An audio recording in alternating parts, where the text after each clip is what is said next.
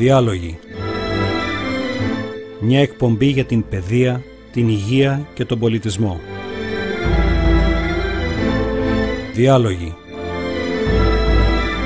Κάθε Πέμπτη, μία με δύο το μεσημέρι, με τον Αντώνη Βαμιεδάκη, στο στούντιο Ρέθυμνο 980. Κυρίες και κύριοι καλησπέρα σας. Καταρχήν να σας ευχηθώ Χριστός Ανέστη, χρόνια πολλά, ελπίζω να περάσετε καλά αυτές τις Άγιες ημέρες και εύχομαι υγεία και ε, δημιουργικότητα σε όλους σας. Κοντά σας και σήμερα η εβδομαδιαία ραδιοφωνική εκπομπή Διάλογοι, η οποία επιδιώκει να παρουσιάζει ανθρώπους που με το έργο, τη δράση και το λόγο τους εμπνέουν.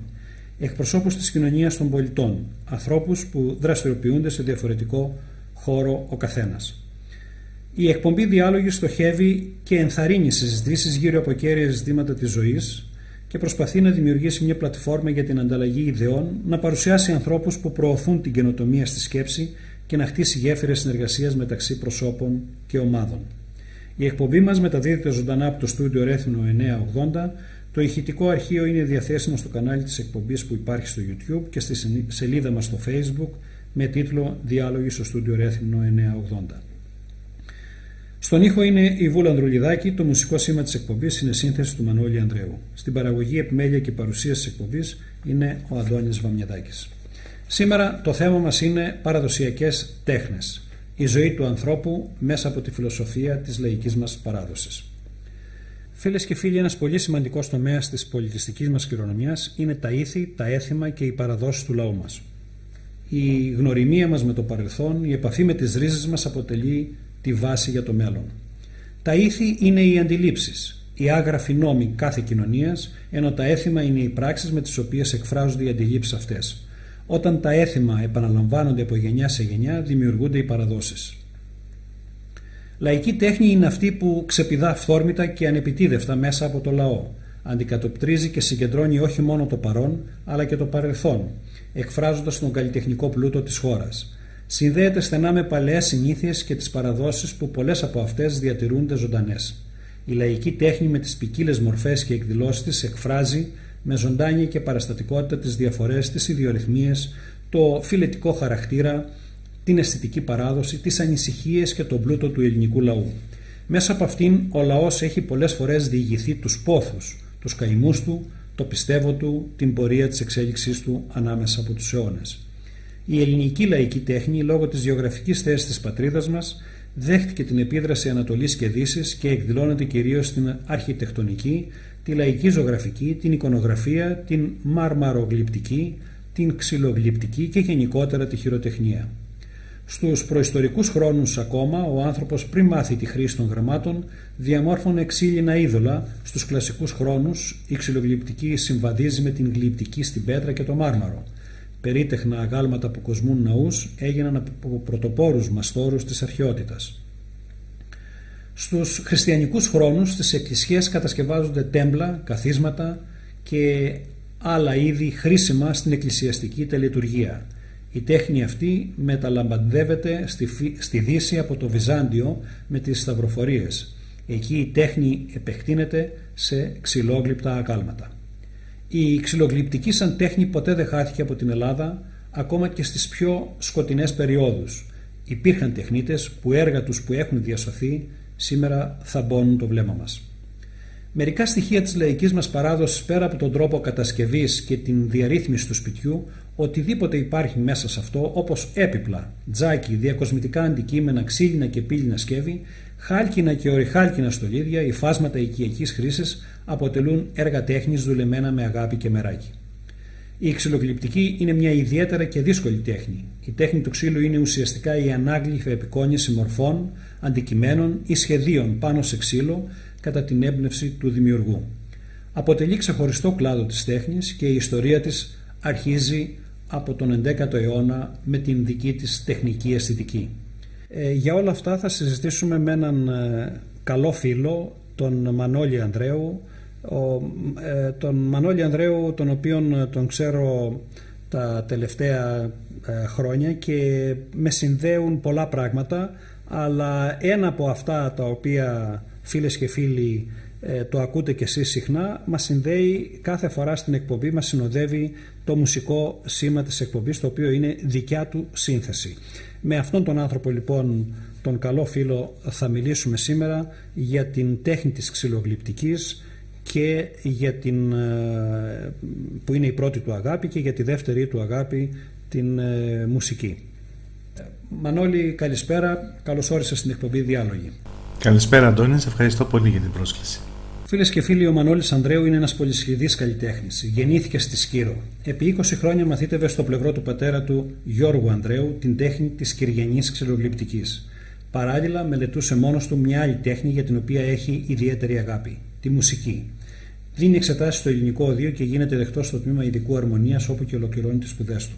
Ταυτόχρονα εργάζεται στο εργαστήρι συντήρησης έργων τέχνης του αδελφού του Σταμάτη Ανδρέου, συμμετέχοντας σε πολλές εργασίες συντήρησης ξύλινων ξυλόγλυπτων έργων τέχνης, αλλά και σε αποστολές συντήρησης ιερών κοιμηλίων σε μονές του Αγίου Όρους.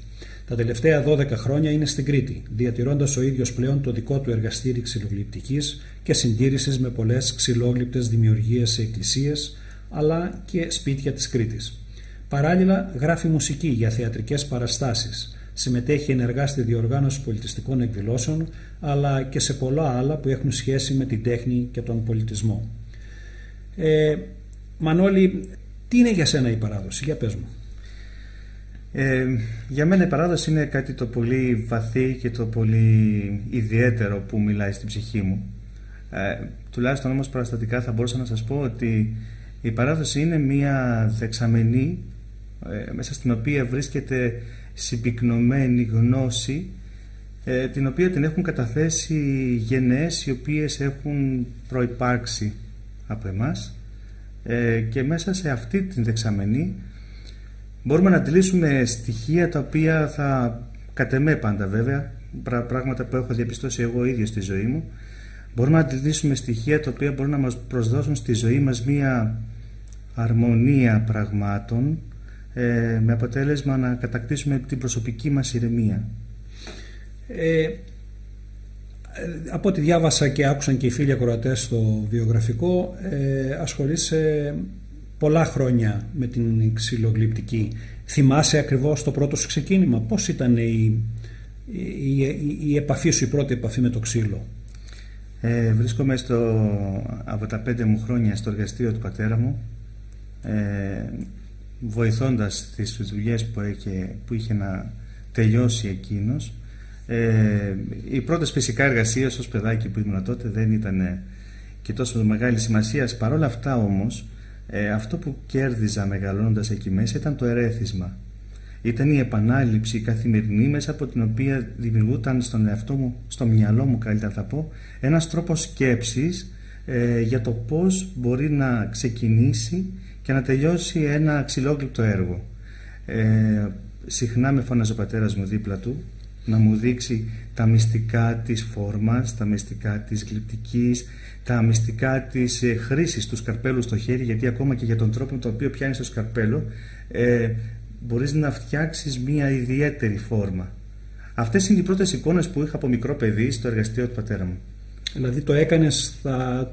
ξέρεις καμιά φορά όταν είμαστε παιδιά αντιδρούμε λίγο ε, έτσι με έναν αρνητισμό εσύ το έκανες με χαρά ή θυμάσαι έτσι τις πρώτες σου αντιδράσεις να ήταν άρνηση προς τον πατέρα; Ε, Έχεις καθόλου θύμισες από εκείνα τα χρόνια; Ναι πάρα πολλές. Και αυτό το ιδιαίτερο που υπάρχει είναι ότι δεν ξέρω τώρα αν το εγώ το αισθανόμουν μόνος ωστόσο το κλίμα που υπήρχε στην οικογένεια για την τέχνη αυτή ήταν η ιερότητά της. Δεν ήταν δηλαδή κάτι το οποίο απλά ο πατέρας μου δούλευε για να, για να βγάλει το προστοζήν της οικογένειας και του αυτού του, του εαυτού του.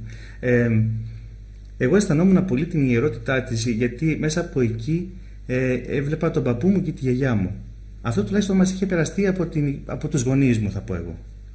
Όλα αυτά τα χρόνια που, της μαθητείας σου να το πούμε έτσι ε, τι έχεις διδαχτεί; Ε, μην ξεχνάς ότι σήμερα πλέον ο ίδιος ε, δημιουργείς δικά σου έργα. Τι έχεις πάρει όλα αυτά τα χρόνια από την εμπειρία, από τα χρόνια τα, ε, της μαθητείας να το πούμε έτσι, μέχρι και σήμερα που είσαι πλέον ένας επαγγελματίας ε, ξυλογλύπτης. Αυτό που τουλάχιστον μέχρι στιγμής στη ζωή μου έχω διαπιστώσει και ε, πλέον για μένα αποτελεί ας μην τολμήσω να πω μανιφέστο αλλά τουλάχιστον ε, γνώμονα της δικής μου σκέψης είναι ότι μέσα από αυτή την τέχνη η οποία έχει καταβολές ε, μέσα στο, στην παραδοσιακή μας αντίληψη ε, δεν είναι απλά μια τέχνη δημιουργίας έργων τέχνης. Για μένα αποτελεί μια πνευματική πλέον αναζήτηση στη ζωή μου μέσα από την οποία προσπαθώ να ταυτοποιήσω τον εαυτό μου με τα στοιχεία τα οποία αποτελούν τον τόπο που υπάρχω, που ζω, που δρώ. Ε, θα μου πείτε γιατί όλο αυτό.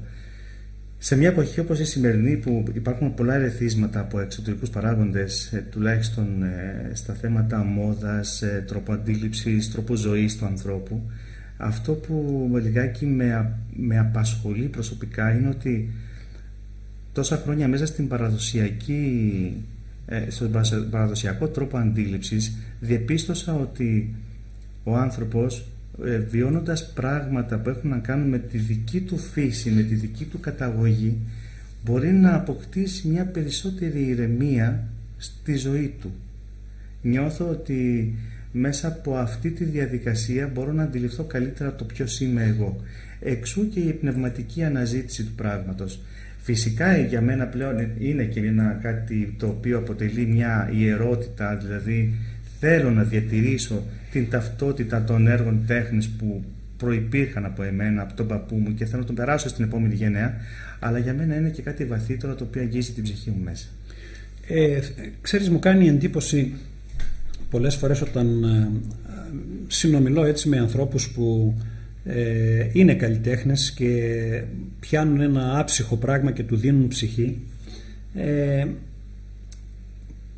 Θέλω λοιπόν να, να σε ρωτήσω εσένα, μη και σε έχω μπροστά μου τώρα, εκτός από τη δεξιοτεχνία των χεριών ενός ξυλογλύπτη κατά την επεξεργασία του ξύλου, τι άλλο χρειάζεται να έχει κάποιος για να φτιάξει ένα έργο τέχνης; Ε, θέλει καταρχάς πολύ έμπνευση.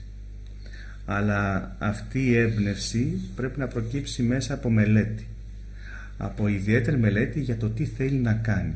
Ένας ξυλογλύπτης παραδοσιακής τέχνης ε, πρέπει κατ' εμέ, τουλάχιστον έτσι έμαθα και αυτό διαπίστωσα στην πορεία ε, θέλει πολύ μελέτη πάνω στο αντικείμενο για να μπορέσει να αποδώσει όλα τα στοιχεία αυτά που το χαρακτηρίζουν ως παραδοσιακό γιατί η ξυλογλυπτική από μόνη της είναι μια τέχνη που περιέχει όλα τα ξυλόγλυπτα αντικείμενα που υπάρχουν σε όλο τον κόσμο αυτό θέλει από μόνο του μόνο μία έμπνευση σαν άνθρωπος. Ωστόσο όταν θέλεις να ασχοληθείς με κάτι το παραδοσιακό πρέπει να έχεις μελετήσει αρκετά και να έχεις ε, προσπαθήσει να παρατηρήσεις πολύ τα στοιχεία, τα μοτίβα, τις γραμμές που υπάρχουν στον τόπο που βρίσκεσαι για να μην αλλοιώσεις το αντικείμενο προς την παραδοσιακή του καταγωγή. Ε, όπως ε, ακούσαμε και άκουσαν και οι φίλοι ακροατές ε, διαβάζοντας το βιογραφικό σου πριν ε, έχεις κάνει μια πολύ σημαντική διαδρομή που φτάνει ως το Άγιο Όρος. Θέλεις να μας πεις λίγα πράγματα για αυτή σου την πορεία για αυτή σου την εμπειρία; Ναι, ήταν πολύ ιδιαίτερη περίοδος στη ζωή μου. Ε, ήταν τα χρόνια που σπούδασα στην Αθήνα και συνεργαζόμουν με τον αδελφό μου στο εργαστήρι συντήρησης έργων τέχνης. Ε, εκεί συνάντησα ανθρώπους και πράγματα τα οποία ήταν πολύ πιο υψηλά από εμένα, θα τολμήσω να πω. Ε, όχι κατα... δεν θέλω να θίξω κυρίως το θέμα της αξίας των πραγμάτων, αλλά κυρίως το ότι μπόρεσα να αντιληφθώ περισσότερα πράγματα πάνω στο θέμα ε, πνευματικότητας. Ακόμα και τα έργα που, πάνω στα οποία δουλέψαμε με τον αδελφό μου και συντηρήσαμε, ε, υπήρχε μια, ένα επίπεδο πραγματικότητας ανώτερο από αυτό που εγώ είχα βιώσει μέχρι πριν. Εκεί λοιπόν εγώ άρχισα να ξεκαθαρίζω την διαφορά της λαϊκής τέχνης από την τέχνη. Υπήρξαν πολλά στοιχεία τα οποία διαφοροποιήθηκαν στο μυαλό μου. Πέραν τούτου φυσικά όμως ε, και η παραμονή μου εκεί γιατί οι αποστολές δεν ήταν ε, για μία εβδομάδα. Οι αποστολές εκεί κρατούσαν από 20-30 μπορεί και 40 μέρες ανάλογα τη δουλειά που είχαμε να βγάλουμε. Ε, εκτός της, τις ώρες που εργαζόμασταν υπήρξαν και, υπήρχαν και οι ώρες που συμμετείχαμε στα δρόμενα, το τολμήσω να πω έτσι, του μοναστηριού, στο πρόγραμμα καλύτερα, όχι δρόμενα, πρόγραμμα του μοναστηριού και εκεί ε, άρχισα να νιώθω πολλά πράγματα για το τι εστί ε, ταξίδι, τι εστί πνεύμα, τι εστί σκέψη. Ε, είναι μια πολύ ιδιαίτερη περίοδος της ζωής μου, οποία μου έδωσε το, το ερέθισμα να σκεφτώ και λίγο παραπέρα από αυτό που πράττω εγώ ίδιος. Το να δουλεύει κανείς σε ένα περιβάλλον όπως είναι το περιβάλλον του Αγίου Όρους ε, σε αντίθεση με ένα περιβάλλον εργαστηρίου. Ε, υπάρχει διαφορά; Υπήρξε για σένα διαφορά καταρχήν; Ναι, η αλήθεια είναι ότι η αλήθεια που γνωρίζω να το, να το πω αυτό είναι κυρίως για το τι έχω δει εγώ και το τι έχω ζήσει εγώ στη ζωή μου. Για μένα, ναι, υπήρξε μεγάλη διαφορά. Δεν ήταν το ίδιο με το να είμαι μόνος μου στη Σκύρο, στο εργαστήριο και να δημιουργώ ένα αντικείμενο, όσο να είμαι σε αυτόν εγώ τουλάχιστον το βίωνα έτσι, έναν ιερό χώρο που έχουν περάσει πολλές γενιές ανθρώπων που αναζητούσαν πνευματικά τον εαυτό τους και την ολοκλήρωση του πνεύματός τους ε, να δουλεύω εγώ σε αυτό το χώρο και να, φτιάχνω, να προσπαθώ να σώσω ένα αντικείμενο το οποίο είχε φτιαχτεί, είχε δημιουργηθεί πριν 150 και 200 χρόνια. Για μένα αυτό ε, ήταν, ήταν κάτι πολύ ιδιαίτερης αξίας ε, και φυσικά δεν θα, το, δεν θα το σύγκρινα με τίποτα ή σε τίποτα με αυτό που κάνω στο εργαστήριο μόνος μου. Όχι. Ε, πιστεύεις δηλαδή ότι ο χώρος ε, ε, σου έδινε μια άλλη δύναμη, μια άλλη διάσταση στα χέρια σου; Ε, την στιγμή που δουλεύεις σκέφτεσαι, τουλάχιστον αυτό κάνω. Ακόμα και μόνος μου όταν είμαι στο εργαστήριο όσο δουλεύω σκέφτομαι. Ε, Φαντάζομαι σκέφτεσαι αυτό το οποίο επεξεργάζεσαι. Όχι ακριβώς. Γιατί όταν έχει αποφασίσει να φέρεις μία φόρμα, ε, το χέρι σου πλέον μετά από τόσα χρόνια αρχίζει να δουλεύει μηχανικά και να προχωράει. Εκείνη τη στιγμή λοιπόν, όχι ότι αφαιρείσαι, μην το θέσουμε από αυτής της βάσης, αλλά αρχίζεις να αναζητάς πράγματα μέσα σου παράλληλα με τη δουλειά. Τουλάχιστον αυτό κάνω εγώ. Δεν το κάνω επίτηδες, μου προκύπτει. Είναι σαν ένας τρόπος ίσως και χαλαρότητας. Γιατί όταν δουλεύεις 8 και 12 ώρες πάνω από ένα μπάγκο, χωρίς να κουνιέσαι πάνω να κάνεις κάτι άλλο, ε, ίσως είναι και στιγμές χαλαρότητας. Ωστόσο όμως, ε, αυτή η διαδικασία ε, σου προκαλεί και άλλα, άλλα, άλλα πράγματα τα οποία μπορούν να σου δώσουν αλήθειες μέσα στον τρόπο σκέψης σου. Ε, ας έρθουμε τώρα εδώ στην πραγματικότητα. Εδώ στην Κρήτη που ζεις ε, τα τελευταία χρόνια ε, θα ήθελα να σε ρωτήσω, βρίσκεις κάποια κοινά πράγματα με τη Σκύρο; Ναι, ναι, πάρα πολλά κοινά πράγματα ε, τα οποία προσωπικά με συγκινεί κιόλας. Ε, επί παραδείγματι βλέπω στοιχεία πάνω σε πόρτες ξύλινες πόρτες που υπάρχουν στην Κρήτη μοτίβα που εμείς στη Σκύρο το λέγαμε σκυριανό αστέρι και αυτό το σκυριανό αστέρι που χαρακτηρίζαμε εμείς στη Σκύρο, το έχω δει πάνω σε πόρτες της Κρήτης. Έχω δει και άλλα μοτίβα, πολλά. Αλλά εκτός αυτού, εκτός των ε, μοτίβων και της τεχνοτροπίας που διαπιστώνω σαν κοινούς δρόμους, έχω δει ότι και οι άνθρωποι, οι κριτικοί που έχω συναντήσει εγώ στη ζωή μου, έχουν και εκείνοι παράλληλους δρόμους. Ένας ένας παρόμοιος τρόπος συμπεριφοράς, ένας παρόμοιος τρόπος αντίληψης πραγμάτων και αξιών. Αυτό εμένα με συγκινεί πολύ και μου προσ... για μένα τουλάχιστον σε αυτό που λέω εγώ η ερώτητα της τέχνης της προσδίδει μία ακόμα μεγαλύτερη αξία γιατί είναι, είναι μια συνέχεια της συνολικής παράδοσης της Ελλάδας και όχι ενός ξεχωριστού τόπου που γεννήθηκε κάτι και το οποίο εξελίχθηκε. Για μένα έχει μεγαλύτερη αξία αυτό το να βλέπεις κοινά στοιχεία από τόπο σε τόπο και να διαπιστώνεις ότι η ελληνική παράδοση είναι ένα, ένα ολοκληρωμένο δέντρο και ο κάθε τόπος είναι απλά ένα παρακλάδι. Αυτό για μένα έγινε κάτι πολύ μεγάλο. Μιλάς, ε, σ' ακούω για την ιερότητα της τέχνης και είναι μια πολύ έτσι σημαντική κουβέντα, μια πολύ βαριά κουβέντα.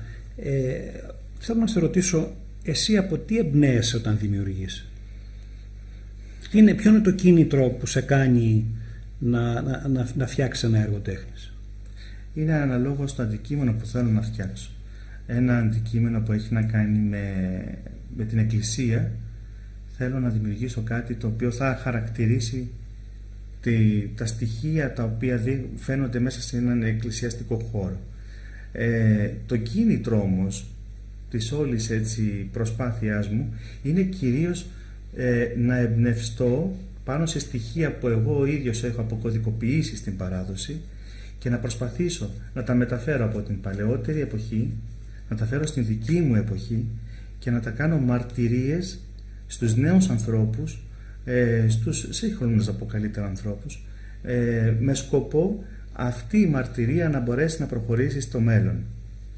Είναι πολύ σημαντικό για μένα κάτι τέτοιο γιατί από εδώ θα μπορέσουμε να πάρουμε κάτι εμείς σήμερα το οποίο μας το είχαν δώσει οι παλαιότεροι θα το κάνουμε της δικής μας ζωής, της δικής μας εποχής και θα έχει ταυτότητα δική μας.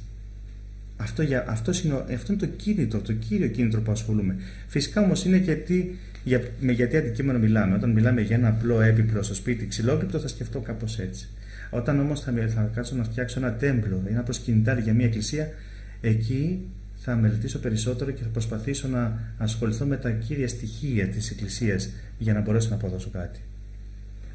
Πες μου κάτι, ένα, σε ένα ξυλόγλυπτο έργο υπάρχουν μυστικά; Που κρύβονται, ε, πώς θα αποκωδικοποιείς; Υπάρχουν πολλά μυστικά και τα, τα μυστικά κατά κύριο λόγο βρίσκονται στα μοτίβα. Παραδείγματος χάρη θα σου πω κάτι το οποίο μικρός όταν μου το είχαν πει με είχε συγκλονίσει γιατί δεν το είχα αντιληφθεί σωστά. Υπάρχει ένας σκυριανό κέντημα το οποίο είναι γνωστό ως ο Καδής. Εγώ μικρός... Όσο ο Καδής. Καδής. Ναι. Εγώ νόμιζα ότι ο Καδής, φαντάστηκα τώρα εγώ, θα ήταν ίσως κάποιος τραγουδιστής ή θα ήταν κάποιος ε, γνωστός πλούσιος της εποχής που θα να το απεικονίσουν. Όταν η, η απεικόνιση του κεντήματος τι είναι, είναι ένα πολύ όμορφο καράβι και τι το έτσι, ε, με τα πλουμιστά του, με τα, με τα χρώματά του και στην πλώρη του, του καραβιού είναι ένας άνθρωπος με ένα μουστάκι. Αυτό εμένα στο μυαλό μου, μου το μεταφράστηκε κάπως έτσι. Και όμως αυτό το στοιχείο είναι μια άσχημη εμπειρία των Κυριανών, μια κακή εμπειρία που τους έδινε κάθε φορά που έβλεπαν αυτή την εικόνα μεγάλο άγχος. Γιατί, Γιατί ο Καδής ήταν ο έφορος των Τούρκων και οι Σκυριανοί απεικόνισαν την εικόνα που είχαν βλέποντας τη, από τη, στη θάλασσα από μακριά να έρχεται το καράβι με τον καδί μπροστά για να εισπράξει τους, να εισπράξει τους φόρους. Ναι. Τέτοιου είδους μυστικά όμως από μόνο τους δεν λένε κάτι. Όταν μελετήσεις όμως και, παρα, και προσπαθήσεις να αφουγκραστείς τι σημαίνει αυτή η ιστορία για τον, για τον κάθε άνθρωπο που βίωσε αυτά τα πράγματα; Και αυτός ο άνθρωπος που βίωσε αυτά τα πράγματα πώς προχώρησε στη ζωή του; Πώς άρχισε να σκέφτεται πώς άρχισε να αντιλαμβάνεται τις, αξι... τις αξίες της ζωής; Εκεί για μένα είναι τα μυστικά. Ε, ξεκινάμε από τα μοτίβα που έχουν κάποιες μικρές ιστορίες που υπάρχουν στο λαό και μετά από εκεί μέσα προσπαθείς να φιλτράρεις τον τρόπο με τον οποίο αντιλήφθηκε ο λαός αυτός τις, τις ιστορίες που βίωσε για μένα από εκεί είναι οι σημαντικές πληροφορίες για τη δική μας ζωή σήμερα. Ε, Μανώλη, έχεις ε, σκεφτεί με ποιο τρόπο ε, με ποιον τρόπο στοχεύεις να δημιουργήσεις τη δική σου εποχή, να αφήσεις το δικό σου αποτύπωμα; Σίγουρα με πολλή δουλειά. Ε, βέβαια δεν είναι και αυτός σκοπός αυτό να αφήσω κάποια δική μου εποχή κάτι παρόμοιο. Δικός μου σκοπός είναι να προσπαθήσω όσο μπορώ και όσο ζω φυσικά να αφήσω όσο περισσότερες μαρτυρίες μπορώ στον σύγχρονο άνθρωπο. Ε, δεν σου κρύβω ότι είμαι λίγο αγχωμένος πάνω στο θέμα του ότι είμαι ο τελευταίος σκυριανός ξυλογλύπτης.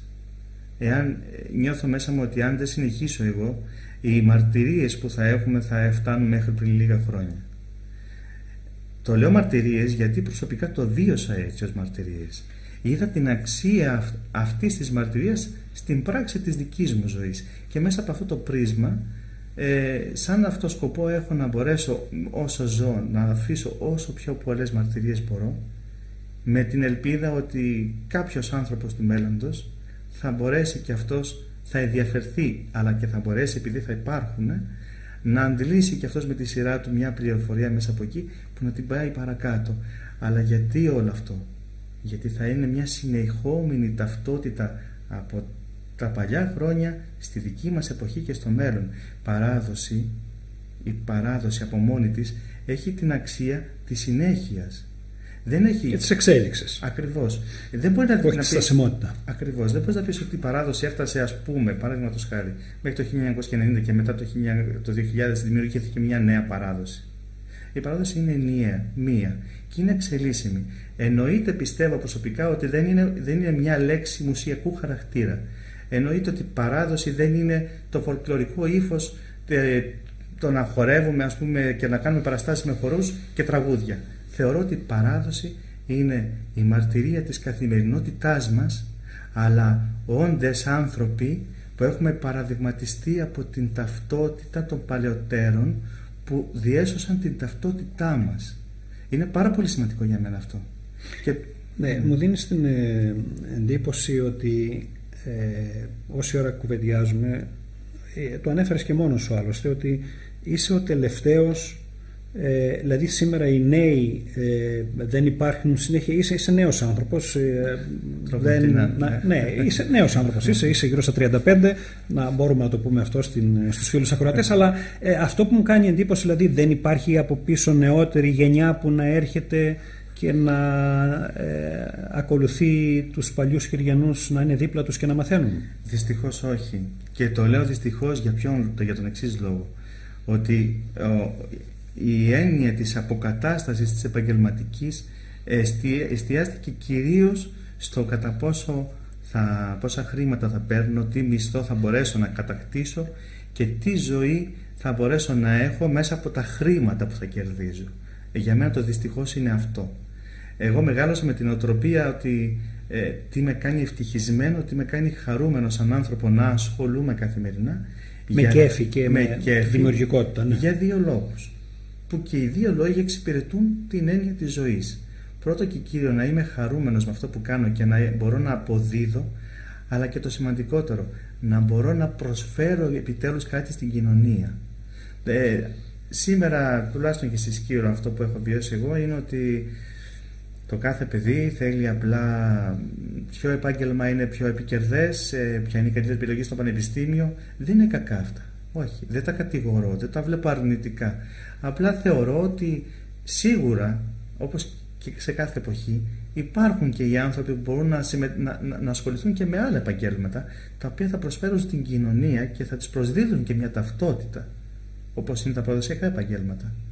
Ε, αυτό σήμερα δεν υπάρχει ε, και αυτό, γι' αυτό και από την αρχή ξεκίνησα και επανέλαβα συνεχώς τη λέξη και έννοια ιερότητα γιατί άρχισα να την αισθάνομαι από τότε που άρχισα να βλέπω ότι οι ξυλογλύπτες της Κύρου λιγόστευαν. Όταν ήμουν ας πούμε παραδείγματος χάρη μικρός οι ξυλογλύπτες ήταν στις Κύρου 25 και αυτή τη στιγμή που μιλάμε είναι ένας.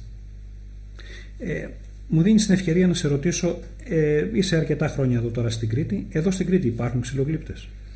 Έχω... Έχεις συναντήσει; Δεν έχω συναντήσει, όχι, η αλήθεια είναι αυτή. Ε, Έχεις ακούσει τουλάχιστον; Έχω ακούσει, ναι, έχω ακούσει ότι υπάρχουν ξυλογλύπτε. Ε, τουλάχιστον για δύο-τρει έχω ακούσει, ότι τον είχα ρωτήσει τότε.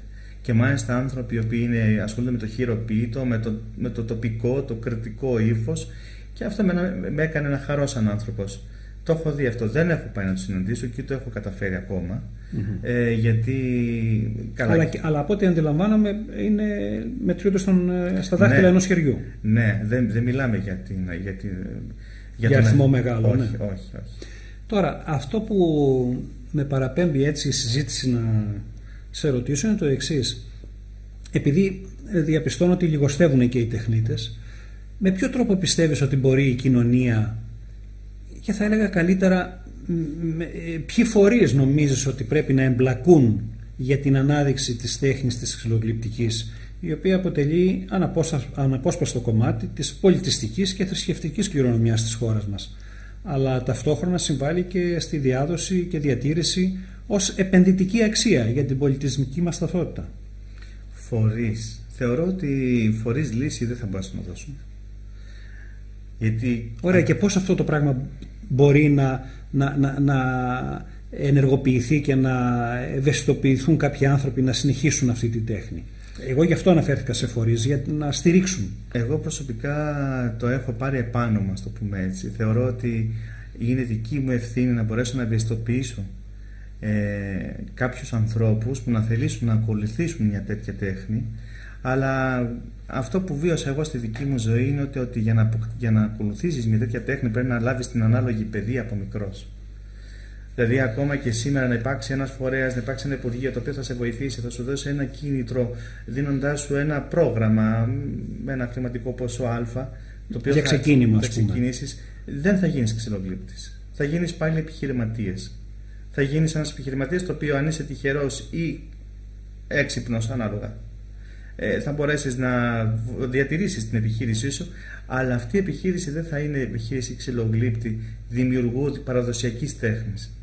Το δύσκολο με αυτή την ιστορία και γι' αυτό για μένα που δημιουργεί άγχος είναι ότι πρέπει να αποκτήσεις ανάλογη παιδεία από μικρός, από, να έχεις ερεθίσματα που θα σε συγκινήσουν και θα σε παροτρύνουν να ασχοληθείς. Δεν ας πούμε, να σου το πω καλύτερα, δεν μπορείς να πάρεις ένα παιδί σήμερα και σε δύο χρόνια να το κάνεις ξυλογλύπτη και να πεις ότι αυτό το παιδί θα κάνει ξυλογλυπτική και θα φτιάξει πράγματα. Ακόμα, ακόμα και αν καταφέρει να φτιάξει κάποια πράγματα, δεν θα είναι ξυλογλύπτης δημιουργός που θα μπορέσει να ανταποκριθεί σε στοιχεία παράδοσης αν μη τι άλλο και σε έργα μεγάλων μεγεθών. Ξυλογλύπτης πρέπει να είσαι από μικρό παιδί. Να είσαι μέσα στο εργαστήριο, να το πονέσεις, να μπορέσεις να νιώσεις. Θα μου πεις, άμα είναι έτσι σε μια εποχή σύγχρονη, με ταχύτητα και με απαιτήσεις, θεωρείς ότι θα μπορέσεις να υπάρξει κάτι ανάλογο. Θεωρώ ότι δεν θα μπορέσει να υπάρξει ένας ανάλογος αριθμός ξυλόγλυπτων, όπως, όπως είπα προλίγου 25 τον αριθμό Σκύρο, αλλά θεωρώ ότι ένας-δύο ακόμα στο μέλλον θα βρεθεί. Ξέρω πολύ καλά από προσωπικής έτσι, ε, πορείας ότι σίγουρα θα χρειαστεί να, να γίνουν θυσίες, θα χρειαστεί να γίνουν πράγματα τα οποία θα είναι αντίθετα με τα συμφέροντα σε εισαγωγικά ε, τροποντινά αυτό που σήμερα οι άνθρωποι αλλά όμως για μένα θα έχει κρατηθεί σταθερή πορεία ως προς την μεταφορά της ιδέας και της πληροφορίας από την προηγούμενη γενναία στην επόμενη. Σήμερα αυτό μπορούμε να κάνουμε μόνο. Ε, δεν σου κρύβω και θα τολμήσω να το, να το πω. Ε, εγώ όμως δεν μιλάω ποτέ με αρνητικό όρο. Θεωρώ μέσα μου ότι ε, πρέπει να έχουμε μόνο θετικά συναισθήματα για το οτιδήποτε. Όμως το να εμπλακούν φορείς και να δημιουργηθούν κινήματα σε αυτό τον τομέα δεν θα φέρουν το αποτέλεσμα το επιθυμητό. Αυτό χρειάζεται περισσότερο προσωπική προσέγγιση του κάθε ανθρώπου και προσωπική επιθυμία να το κάνει. Ε, σε παλαιότερους ε, χρόνους ε, από προσωπική εμπειρία θα σου μιλήσω τώρα Μανώλη ε, έχω στην εικόνα έχω εικόνα στο μυαλό μου όταν προέκυπτε η απόφαση για την ανέγερση ενός νέου ναού, μιας νέας εκκλησίας ε, ο κόσμος της Εκκλησίας προχωρούσε στη συγκέντρωση των χρημάτων για την αποπεράτωση του έργου που αφορά το ναό και συνήθως καλούσαν τους καλύτερους μαστόρους που υπήρχαν ε, τότε ε, και είχαν μια καλή φήμη για τη δουλειά τους για την χρήση ποιοτικών υλικών. Σήμερα έχουμε τέτοια παραδείγματα. Δηλαδή σήμερα όταν ξεκινάει να χτιστεί ένας ναός, να το πω έτσι απλά, ε, φτιάχνονται τέμπλα ε, μιλάω για την ειδικότητα της ξυλογλυπτικής τα οποία είναι παραδοσιακά ή φτιάχνονται μηχανικά δηλαδή τέμπλα της μηχανής. Ε, δεν θα μιλήσω λέγοντας το ότι ε, ξέρω την αλήθεια των πραγμάτων. Προσωπική εμπειρία ε, και με αλήπης μου το λέω είναι ότι έχει και αυτός ο τομέας της ξυλογλυπτικής στην Ελλάδα έχει τυποποιηθεί κατά μία έννοια. Υπάρχουν εργοστάσια τα οποία παράγουν τέμπλα από τη Θεσσαλονίκη μέχρι και την Κρήτη με τα ίδια χαρακτηριστικά, με τις ίδιες προϋποθέσεις ε, προσδίδοντας μεν μία εκκλησιαστικότητα στο έργο αλλά επουδενή δεν έχει καμία ταυτοποίηση με τον τόπο που βρίσκεται η εκκλησία ή με την πνευματικότητα ενός αντικειμένου. Αυτό με θλίβει προσωπικά διότι στην, ε, στις συνεργασίες που έκανα με τον αδερφό μου και τις εργασίες συντηρήσεις στις οποίες συμμετείχα τα τέμπλα που συνάντησα στη ζωή μου τα οποία ήταν ηλικία άνω των 100-120 ετών. Μιλάς τώρα για το Άγιο Όρος. Για το Άγιο Όρος ναι, και, ναι. και, όχι μόνο. Υπήρχαν και μοναστήρια και όχι μόνο στο Άγιο Όρος μέσα. Είχα, είχα συμμετάσχει και σε εργασίες συντήρηση και σε ένα γυναικείο μοναστήρι στο το Σίο Δαβίδη στο Βόλο, αλλά και σε άλλα που ναι. πάει. Ε, αυτά τα παλιά τέμπλα δεν έχουν καμία σχέση με τα καινούρια. Είναι αρκετά πιο γεμάτα, είναι αρκετά πιο, πιο έχουν μια δυναμικότητα σαν έργα τέχνης και εννοείται ότι το υλικό που είναι κατασκευασμένο, το είδος του ξύλου, να το πω καλύτερα, είναι πολύ ανώτερης ποιότητας και τι εννοούμε ανώτερη ποιότητα στο ξύλο; Το ξύλο έχει δύο χαρακτηριστικά σαν ποιότητα. Το ένα είναι η αισθητική του, η ομορφιά του δηλαδή που έχουν τα νερά και η δεύτερη και σημαντικότερη για μένα είναι η αντοχή στον χρόνο. Δεν μπορείς να φτιάξεις ένα τέμπλο από ένα ξύλο το οποίο θα έχει, ένα φτηνό ξύλο ας πούμε, που θα έχει ε, μικρό χρόνο ζωής. Ναι, θες να πεις δηλαδή ότι τα μηχανικά, τα αυτοματοποιημένα να το πω έτσι, τα εργοστασιακά ε, η αντοχή τους είναι μικρότερη, δεν το κατάλαβα. Δεν θα μιλήσω τεχνικά εγώ για τα... Ναι. Ε, εγώ δεν θέλω να μιλήσω τεχνικά για το αν... Είναι πιο φτωχό αυτό ε, σε σχέση με το χειροποίητο. Εγώ θα... μας ποια είναι η διαφορά. Δηλαδή... Για μένα η διαφορά η βασικότερη είναι ότι δεν υπάρχει ταυτότητα στο αντικείμενο ε, και στην εκκλησία ιδιαίτερος που είναι για μας τους χριστιανούς είναι κάτι το ιερό, είναι ένας χώρος ιερός και ένας χώρος ο οποίος εκπροσωπεί κάθε φορά τον τόπο που βρίσκεται η Εκκλησία. Δηλαδή, μια, μια Εκκλησία στη Σκύρο ε, είχε τέμπλα σκυριανά από σκυριανούς ξυλογλύπτε που έδινε πληροφορίες στο μέλλον από ανθρώπους που είχαν προπάρξει σε αυτόν τον τόπο. Το ίδιο συμβαίνει και εδώ στην Κρήτη, το ίδιο συμβαίνει και σε άλλες περιοχές της Ελλάδας. Για μένα αυτό που με ενδιαφέρει κυρίως, γιατί τεχνικά να αρχίσω να μιλάω, θεωρώ. Όχι, να μην μπλέξουμε με ναι, τεχνικές. Και κουραστικός θα γίνω και ναι. μπορεί και να φέρω ναι. και ανθρώπους που δεν θέλω να, να διαφωνήσω. Δεν υπάρχει λόγος, ναι. Μπράβο. Ε, αυτό που με ενδιαφέρει προσωπικά είναι ότι δεν υπάρχει ταυτότητα. Και θεωρώ. Είναι όλα το ίδιο, πάνω Ακριβώς. Και θεωρώ ότι είναι κρίμα σε μια εποχή που μπορούμε να κάνουμε πολλά περισσότερα πράγματα. Σκέψω αυτό μόνο, ότι στα παλιά τα χρόνια οι άνθρωποι δεν είχαν τόσες ευκολίες και παρόλα αυτά δίνανε ολόκληρο το είναι τους στο να δημιουργήσουν κάτι το οποίο θα χαρακτήριζε τους ίδιους και την κοινωνία που ζούσαν. Και σε, είμαστε σε μια εποχή που μπορούμε να κάνουμε πολλά περισσότερα πράγματα από τους ανθρώπους που υπήρχαν σε μια παλαιότερη εποχή και δυστυχώς δεν μπαίνουμε στον κόπο να το κάνουμε. Κατά γενική ομολογία, η ελληνική λαϊκή παράδοση και η εκκλησία είναι δύο έννοιες συνυφασμένες Υπάρχει κάποια σημαντική διαφορά που τις χωρίζει κατά τη γνώμη σου; Ανάμεσα στην Εκκλησία και στην... Ε, στην, ε, στην Εκκλησία και στην ελληνική λαϊκή παράδοση. Ε, αυτό που έχω δει εγώ είναι ότι μέσω της Εκκλησίας μας ε, σε δύσκολους καιρούς διασώθηκαν πολλά στοιχεία της δικής μας παράδοσης ε, και της δικής μας γλώσσας. Θεωρώ ότι βοήθησε πολύ η Εκκλησία σε αυτό. Ε, αυτό θα επιθυμώ να συμβεί και σήμερα. Ελπίζω, ελπίζω να συμβαίνει και σήμερα.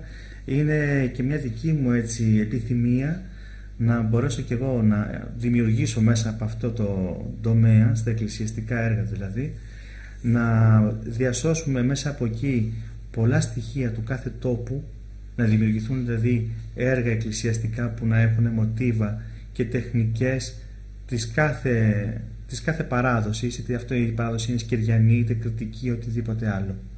Ε, για μένα είναι δύο δρόμοι παράλληλοι, ναι. Ε, πιστεύεις ότι έχει υποχρέωση, να το πω έτσι, σε εισαγωγικά βάζω τη λέξη, ε, η εκκλησιαστική πλευρά να ε, προσπαθήσει περισσότερο ώστε να, να στηρίξει και ε, εμέσως πλην σαφώς όλους αυτούς τους ανθρώπους, τους δημιουργούς που ούτως ή άλλως είναι λίγοι που είναι και χάνονται σιγά σιγά αλλά ε, με αυτόν τον τρόπο να τους δώσει και ένα κίνητρο. Κοίταξε. Ε, ο δρόμος της... Ή μάλλον να το πω λίγο διαφορετικά. Υπάρχουν περιπτώσεις σήμερα που αν γνωρίζεις, δεν είναι απαραίτητο να ξέρεις, αλλά έτσι το ρωτάω γιατί μου έρχεται στο μυαλό. Παραδείγματος χάρη σήμερα οι εκκλησίες οι οποίες χτίζονται, ε, οι οποίες ε, προσφεύγουν, προστρέχουν σε βιομηχανοποιημένα ε, έπιπλα, ε, με, με συγχωρείτε, με βιομηχανοποιημένα τέμπλα από το να πάνε ας πούμε, σε έναν ιδιώτη. Εγώ αυτό που σε έναν καλλιτέχνη. Αυτό που πιστεύω ως άνθρωπος είναι ότι ο τρόπος σκέψης με τον οποίο αντιλαμβάνομαι τη ξυλογλυπτική τέχνη είναι μέσω της αγάπης και της πίστης. Ε, δεν θα τολμούσα ποτέ να πω ότι κάποιος εξ, εκτός εμού θα είχε υποχρέωση για κάτι. Αυτό που λέω εγώ προσωπικά είναι ότι εγώ ασχολούμαι με την τέχνη αυτή μέσα από πολλή αγάπη και πίστη που έχω για τα στοιχεία που προσδίδουν αυτή την τέχνη. οποιοδήποτε άλλος άνθρωπος ή όπως είπες εσύ φορείς ή οργανισμός ή οτιδήποτε άλλο θελήσει να ασχοληθεί κατ' ουσίαν με αυτό ε, δεν νιώθα ότι θα είχε υποχρέωση ή όχι. Όχι. Αν υπάρχει άνθρωπος που το αγαπάει θα ασχοληθεί. Αν υπάρχει άνθρωπος που δεν το αγαπάει πολύ απλά δεν θα ασχοληθεί. Τώρα, εκτός από την... Ε, μάλλον να σε ρωτήσω πρώτα το εξής. Ε, αν κάποιος ε, ε, θα μπορούσε να διαρωτηθεί και δεν ξέρω αν αυτό έχεις οικονομικά στοιχεία να μας δώσεις. Παραδείγματος χάρη ένα βιομηχανοποιημένο ε, τέμπλο με ένα από χειροποίητο. Ε, οι διαφορές είναι τεράστιες. Ε, το ρωτάω έτσι εντελώς ε, για να καταλάβει και ο, οι φίλοι που μας ακούνε ε, τι ακριβώς συμβαίνει με τις περιπτώσεις αυτές, ε, δηλαδή για ποιο λόγο παραδείγματος χάρη μια εκκλησία να πάει σε ένα βιομηχανοποιημένο και όχι σε ένα χειροποίητο, ίσως για έλλειψη χρημάτων, είναι μεγάλες οικονομικές διαφορές. Εδώ θα τολμήσω να πω αυτό που έλεγε ο πατέρας μου, ε, ότι τα αντικείμενα αυτά δεν έχουν τιμή.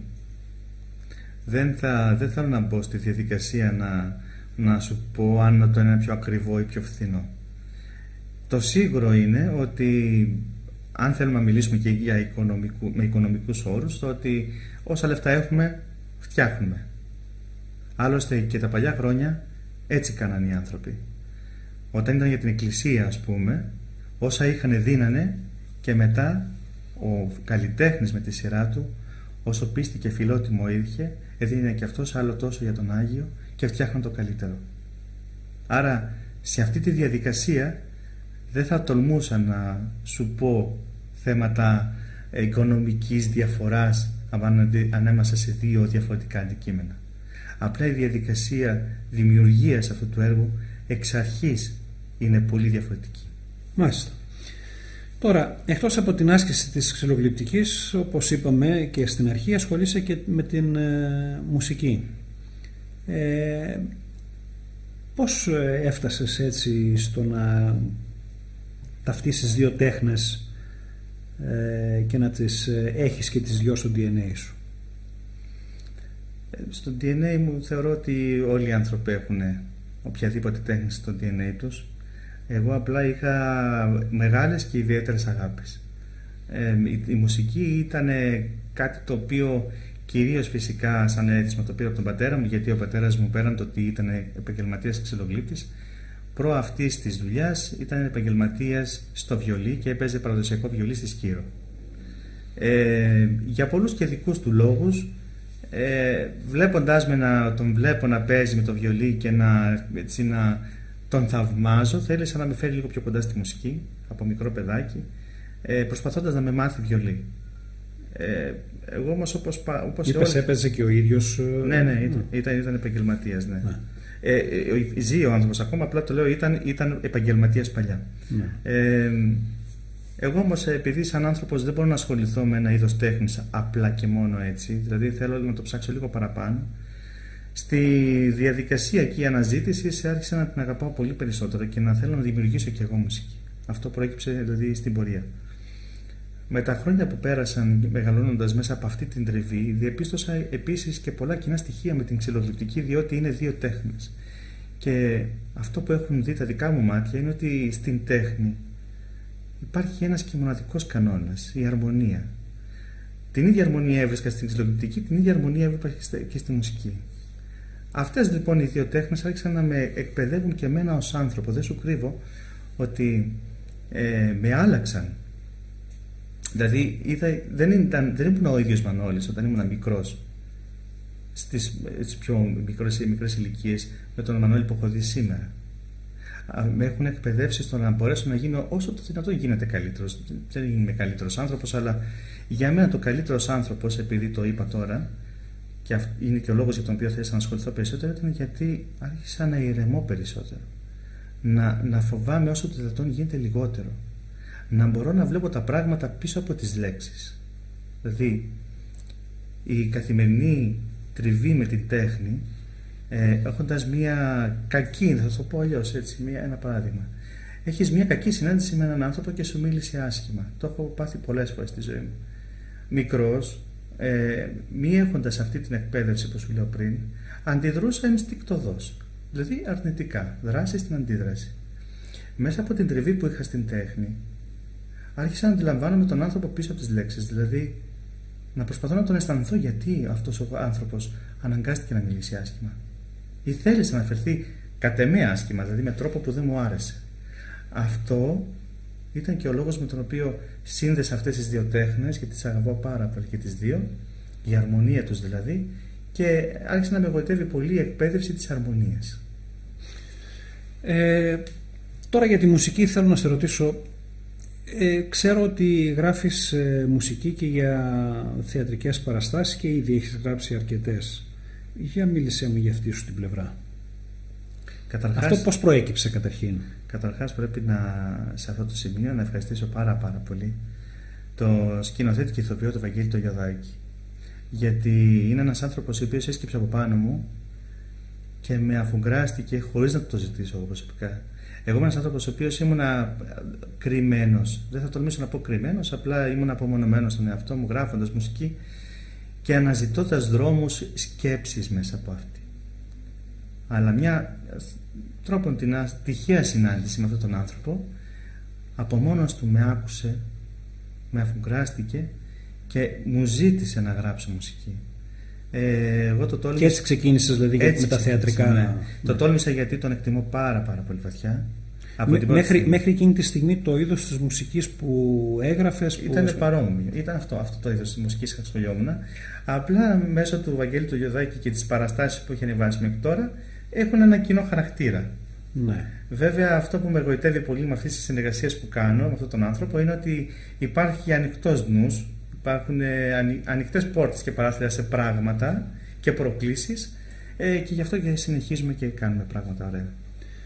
Τώρα, ε, η τέχνη της ξυλογλυπτικής και η τέχνη της μουσικής σου δίνουν τη δυνατότητα της κατεργασίας του ξύλου αλλά και της ανθρώπινης ψυχής.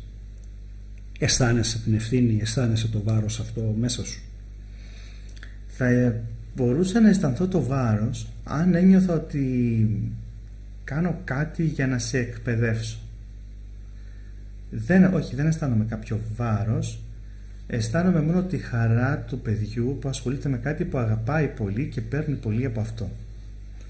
Ε, το μόνο μου άγχος είναι να καταφέρω να το διατηρήσω. Αν, δηλαδή, αν ήθελες να, το, να τη μετατρέψω λίγο την ερώτησή σου, θα έλεγα δεν νιώθω τόσο βάρος όσο άγχος.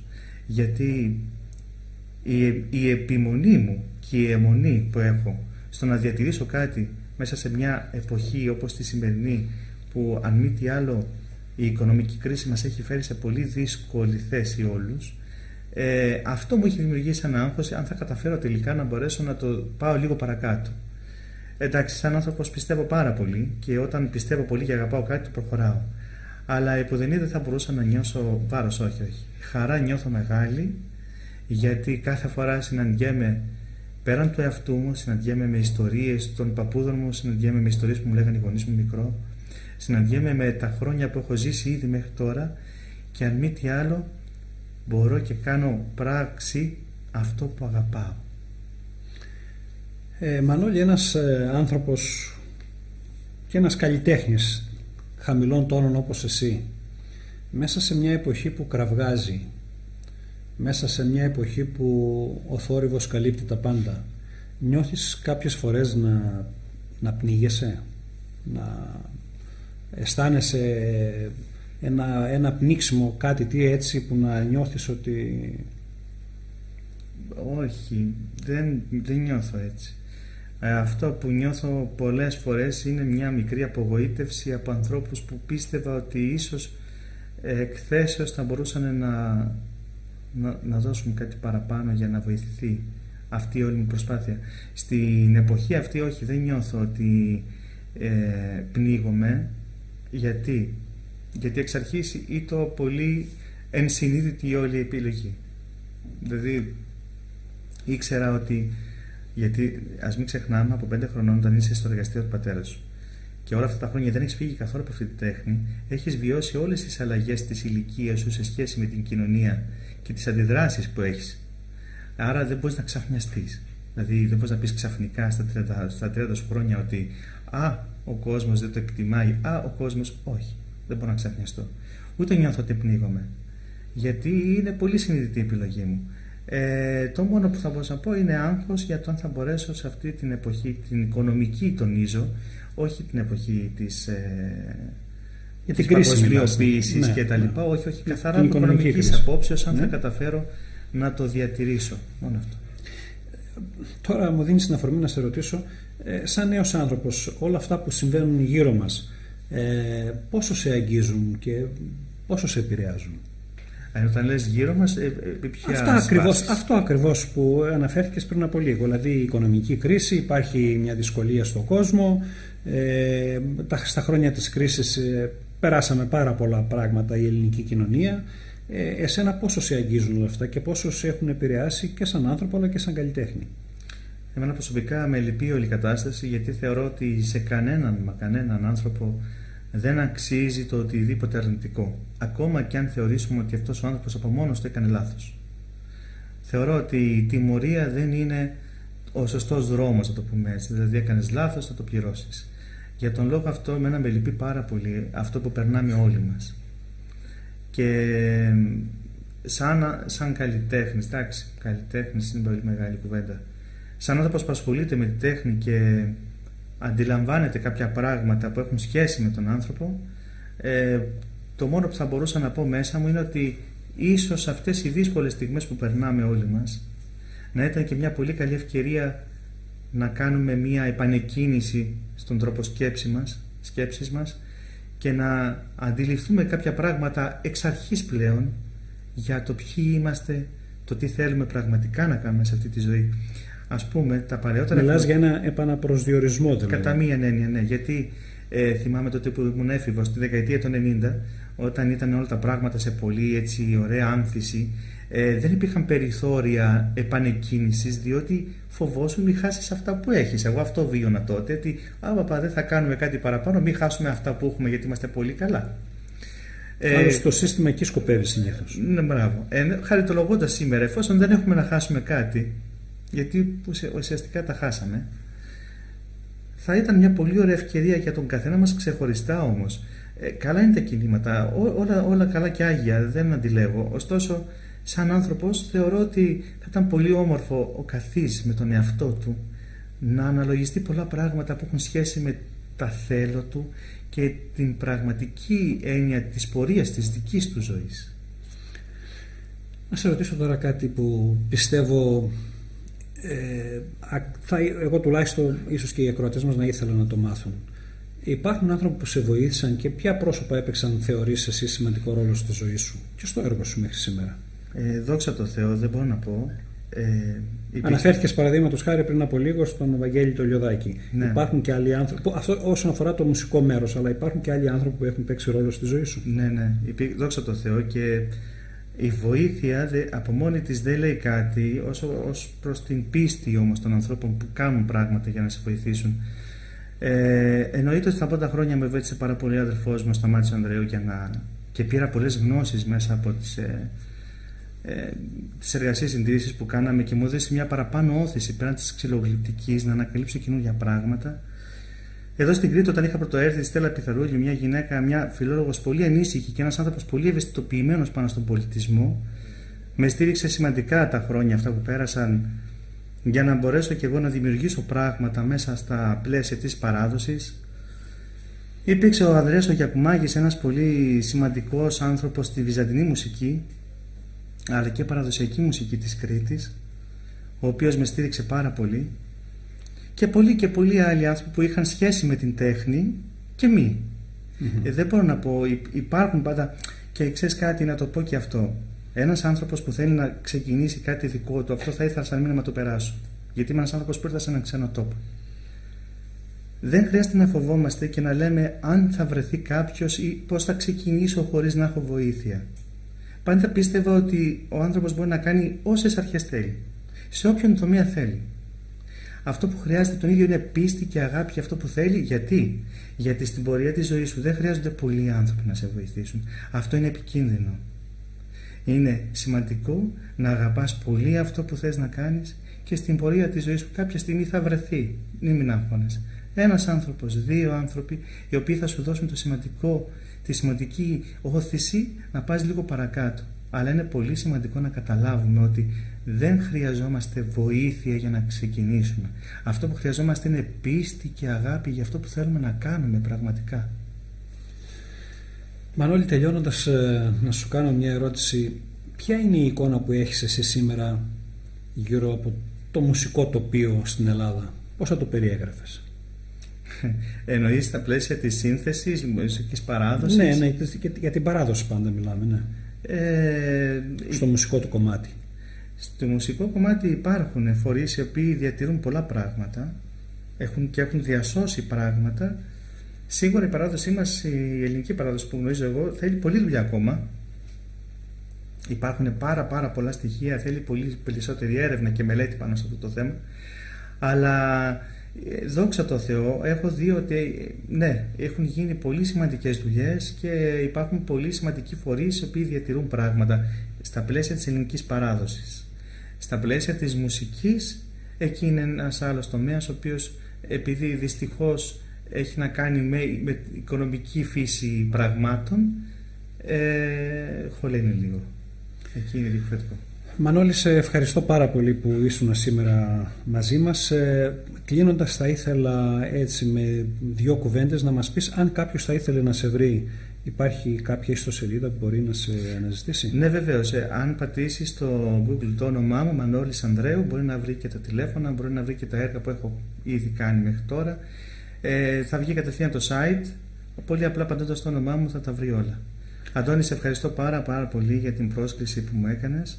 Ε, θεωρώ ότι είναι πολύ σημαντικό να δίνεται ευκαιρία να πούμε κάποια πράγματα όσοι μπορούμε για, για την παράδοσή μας και μακάρι να υπάρξει και συνέχεια σε αυτό γιατί ο τόπος μας το έχει πολύ πολύ μεγάλη ανάγκη. Ε, και εγώ σε ευχαριστώ Μανώλη, άλλωστε όπως είπα και στο πρόλογό μου αυτή η εκπομπή ε, επιδιώκει να παρουσιάζει ανθρώπους που με το έργο, τη δράση και το λόγο τους εμπνέουν. Ε, εσύ είσαι ένας από αυτούς ε, διότι τουλάχιστον εγώ κάποια έργα δικά σου που έχω δει ε, πραγματικά ε, είναι εξαιρετικά Τώρα, ε, σε ευχαριστώ και πάλι, να είσαι καλά. Φίλες και φίλοι, εδώ κλείνουμε για σήμερα. Ως την ερχόμενη Πέμπτη να είσαστε όλοι καλά. Γεια σας.